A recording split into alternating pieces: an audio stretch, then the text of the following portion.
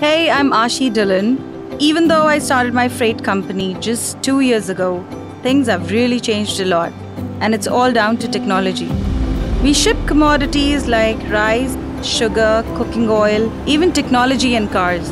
All the port, everywhere we have our cargo.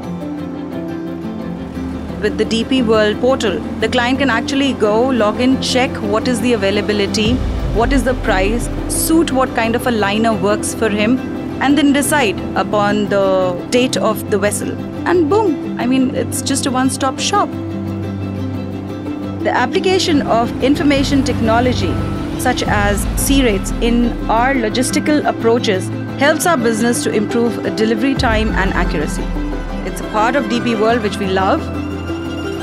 Having that data shared openly with customers means we're doing business everywhere quicker and easier. We are making the most of that opportunity.